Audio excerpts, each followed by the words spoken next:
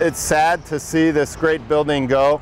Dan Cook, the University of Texas at Austin's Executive Director of Planning, Design and Construction, gets nostalgic when talking about the Frank C. Erwin Jr. Center. We know that it's been such an important part of, of the city, to the families, to the community, with lots of memories and sentiment associated with it. For four decades, the Erwin Center served as the home to Longhorns men's and women's basketball games as well as concerts here in the capital city. We're really happy that it was able to, to serve the community and the universities. But by the middle of summer,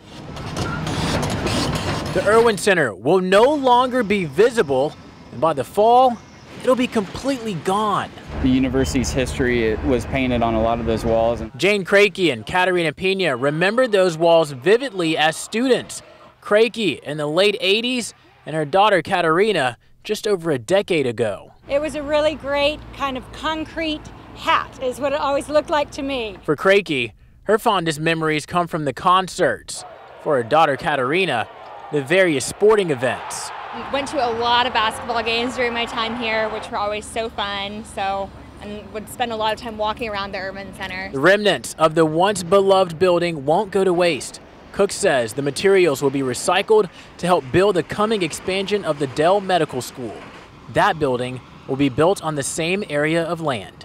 Which in a lot of ways will be a hospital of the future to provide transformative care and cancer and other research uh, for the community here in Austin and across the region.